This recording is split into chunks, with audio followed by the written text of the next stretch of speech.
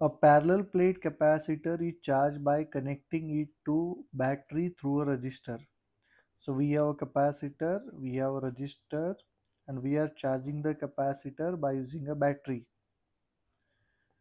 Right? If I is the current in the circuit, I in this current is then the in the gap between the plate there is no current